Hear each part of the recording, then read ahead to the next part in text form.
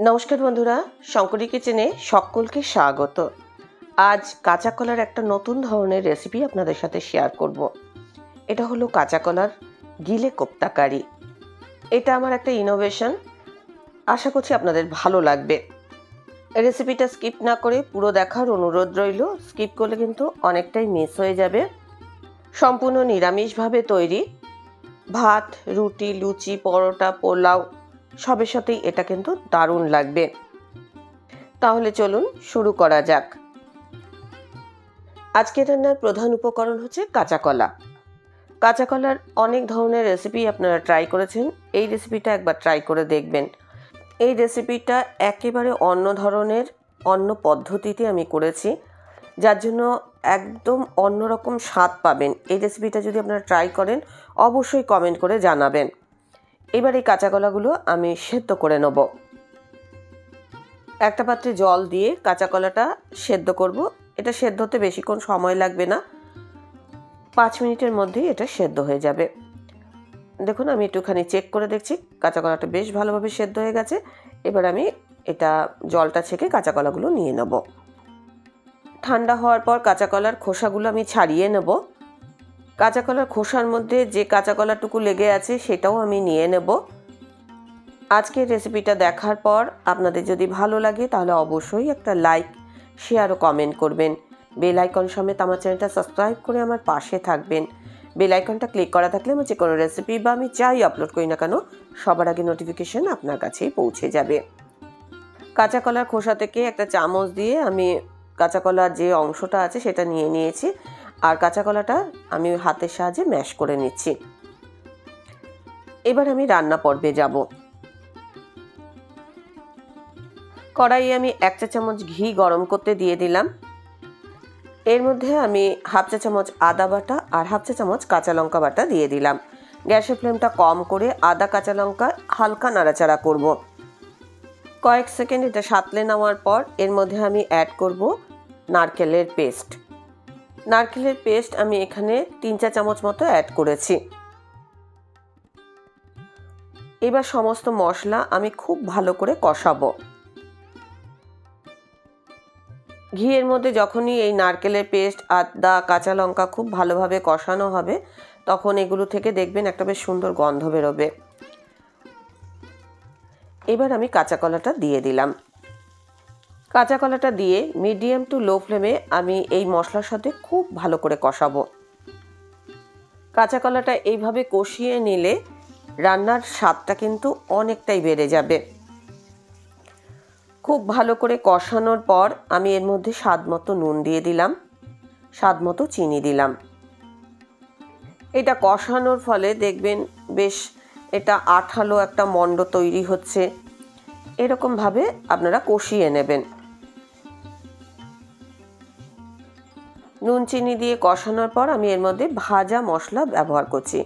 এই মশলাটার মধ্যে জিরে, ধনে আর শুকনো লঙ্কা আর এলাচ, দারচিনি আমি শুকনো খোলায় ভেজে নিয়েছিলাম, সেটা গুঁড়ো করে নিয়েছি। ভাজা মশলার গন্ধটা খুব ভালো লাগবে। এটা তো ভালোভাবে কষানো হয়ে গেছে। আর এটা দিয়ে আমি যেহেতু কোপ্তা তৈরি করব, সেহেতু এর মধ্যে বাইন্ডিংয়ের জন্য আমি দিয়ে দিচ্ছি বেসন। এখানে দু টেবিল চামচ আমি বেসন অ্যাড করেছি।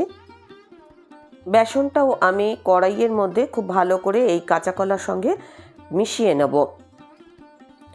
গ্যাসের ফ্লেমটা কিন্তু এখন অন করাই রয়েছে। বেসনটা এই কাঁচা কলার সঙ্গে গরম গরম অবস্থাতেই আমি কিন্তু মিশিয়ে নিলাম। মিডিয়াম টু লো ফ্লেমে আমি এখন এই বেসনটা আর কাঁচা কলাটা মিশিয়ে নিলাম। আর দেখুন একটা সুন্দর মণ্ড তৈরি হয়েছে। মণ্ডটা আমি অন্য পাত্রে নিয়ে নেব আর একটু ঠান্ডা করে নেব, ভালো করে মেখে নেব। রান্নাটাতে আমি গন্ধরাজ লেবুর রস ব্যবহার করব। গন্ধরাজ লেবুর আমি একটা ফালি এখন কেটে নেব। এবার কাঁচা কলার এই যে আমি মণ্ডটা তৈরি করেছি, তার মধ্যে এই গন্ধরাজ লেবুর রসটা আমি দিয়ে দিলাম। ভালো করে মিশিয়ে নিচ্ছি।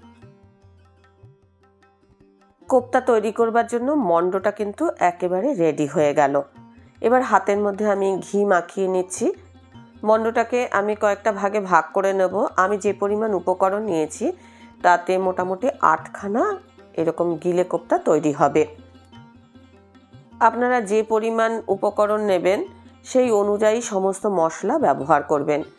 আমি দেখুন হাতের সাজে এরকম চ্যাপটা করে নিলাম। যেরকম গিলে দেখতে হয়, আমি ঠিক ওইরকম টাইপের এর শেপ দিলাম।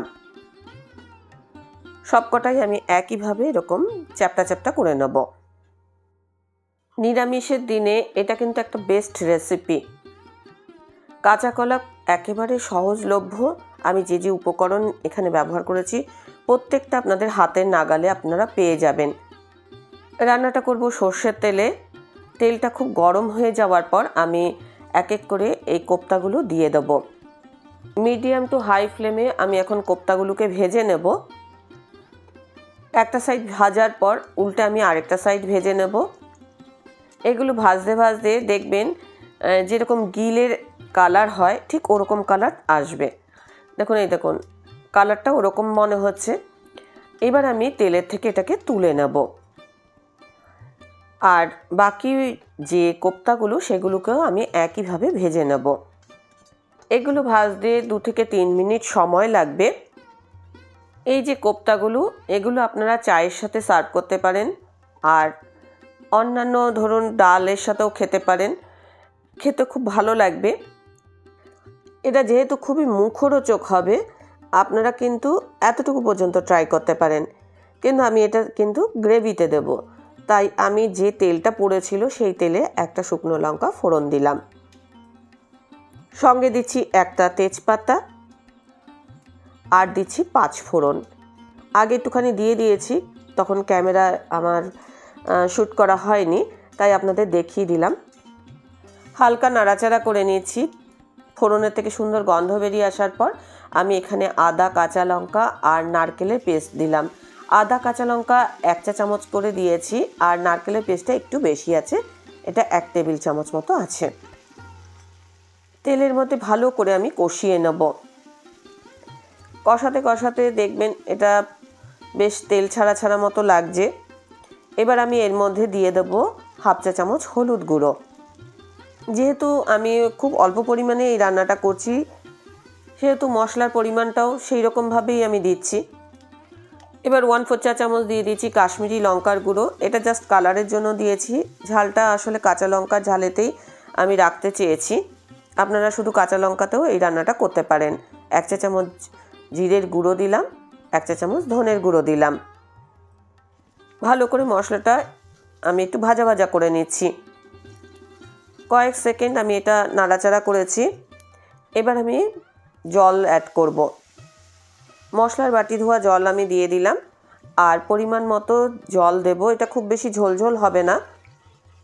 তবে একদম কম জলও দেবেন না, কেননা বড়াগুলো কিন্তু অনেকটা ঝোল শুষে নেবে। এবার এর মধ্যে আমি দিয়ে দিচ্ছি স্বাদ মতো নুন, স্বাদ মতো চিনি। ভালো করে ফুটে ওঠার পর আমি এর মধ্যে কোপ্তাগুলো এক এক করে অ্যাড করব। কোপ্তাগুলো দিয়ে খুব বেশি ফোটাবার দরকার নেই।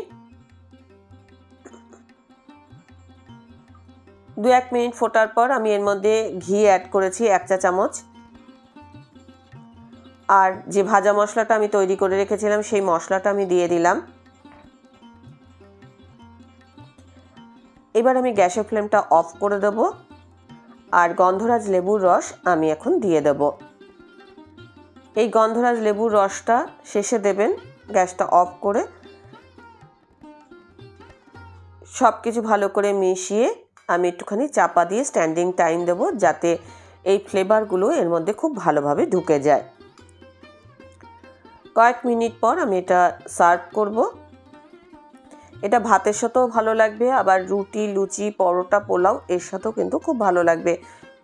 ভাতের সঙ্গে যখন মাখিয়ে খাবেন, তখন এটা গন্ধরাজ লেবু দিয়েও মাখিয়ে খেতে পারেন। একটা কোপ্তা আপনাদের একটুখানি আমি ভেঙে দেখিয়ে দেব কেমন সফট হয়েছে। দেখুন, হাত দিয়ে এরকমভাবে ভাঙলেই খুব সুন্দরভাবে ভেঙে যাচ্ছে। আর ভেতরেও কিন্তু খুব সুন্দর রস ঢুকেছে। রেসিপিটা ভালো লাগলে অবশ্যই একটা লাইক দেবেন, প্রচুর প্রচুর শেয়ার করবেন। আমার চ্যানেলটা ভালো লাগলে অবশ্যই সাবস্ক্রাইব করে নেবেন। আজকের রেসিপি এই পর্যন্ত। দেখা হবে নতুন কোনো রেসিপি নিয়ে নতুন কোনো এপিসোডে এতক্ষণ আমার সঙ্গে থাকার জন্য অনেক অনেক ধন্যবাদ।